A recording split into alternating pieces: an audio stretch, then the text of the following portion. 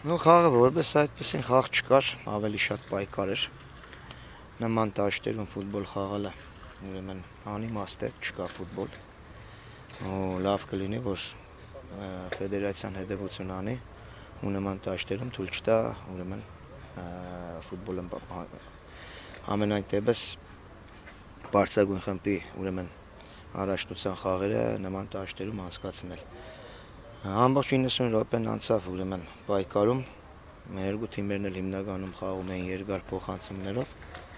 Ու կարողացանք մենք արդյունավետ հակակերով կազմակերպել, որից հետո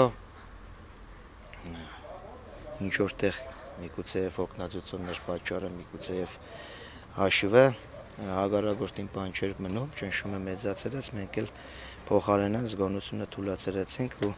բարձր որ հագարագորտը այս խաղում միայն կարող է ուրեմն խաղը փրկել ստանդարտ դերություններից, որն էլ մենք որն էլ մենք օգնեցինք հագարագործին նախ առաջին ուրեմն պետք չէր խախտել կանոնները, խախտեցինք ու գոլ պաստողեցինք, իսկ երկրորդ գոլի դրվագում ընդհանրապես չհասկացա ինչ տեղ ունեցավ ու այս մրցավարությունը, նման մրցավարությունը ոնց որ պատուհաս է դառնում արդեն ուրեմն էպիզոդից կես ժամ հետո են արցանագրում իրավիճակը չես հասկանում ընդհանրապես նման մրցավարության պարագայում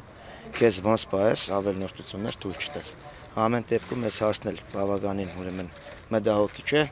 ուշադրություն դարձրեք որովհետեւ ես տեսակ խայդարակ մրցավարությունով մեր առաջնությունը եւս հաջողակի բնույթ չկար նման էս իրավիճակը